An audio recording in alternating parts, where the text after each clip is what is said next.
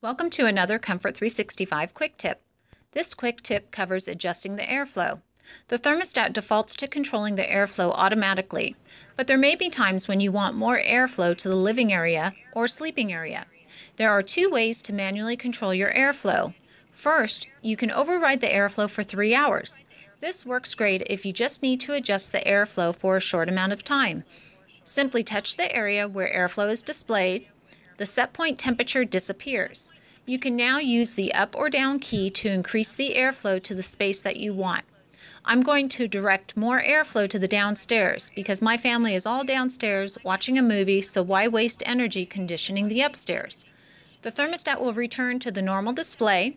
Notice that airflow percentage is now blinking. This indicates that the airflow is being controlled by the user. After three hours, the thermostat will change back to automatically controlling airflow. If you want to end the override before the three hours is up, simply touch the area where airflow is displayed, and then touch the mode key. The thermostat will return to the normal display. Notice that airflow percentage is no longer blinking, indicating that the thermostat is back to automatically controlling the airflow. That is how to adjust your airflow for three hours. The second way of controlling airflow is by turning off automatic airflow control. When automatic airflow control is off, the thermostat no longer adjusts airflow automatically using temperatures in the living and sleeping space. Instead, the airflow is adjusted by the user. For newer versions of the thermostat, this option is available in the user menu. Older version thermostats also use the user menu to set this option, but the option needs to be enabled using the installer options. We'll cover this shortly. Touch the menu key and touch menu again to bypass the schedule. If AAC is displayed, you have a newer version thermostat. If AAC is not displayed and NAF is displayed, you have an older version. AAC or automatic airflow control defaults to on. To turn automatic airflow off, touch the down key, then touch enter. Notice that airflow percentage is blinking. One thing to note is if nighttime airflow control is on, the airflow will remain at your settings when the nighttime schedule starts. But the following morning, at the morning start time, the airflow reverts back to 100%. This is a prompt for you to evaluate your airflow needs for that day. That is how to turn off automatic airflow control in a newer version thermostat. For an older version thermostat, we need to do one additional step before getting into the user menu.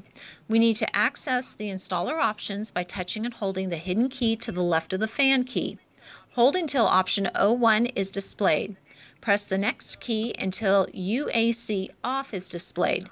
This is option 16 in model C365T11 or option 18 in models C365T21 or C365T21WF.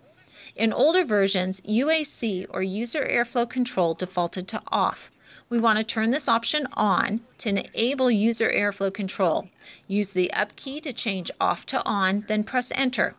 Now access the user option by touching the menu key and then touch menu again to skip the schedule option.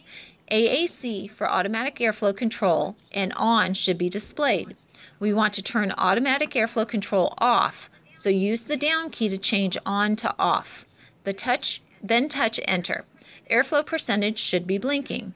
That is how to turn off automatic airflow control in an older version thermostat. Be sure to check out the other Comfort 365 quick tip videos on the Comfort365USA.com website.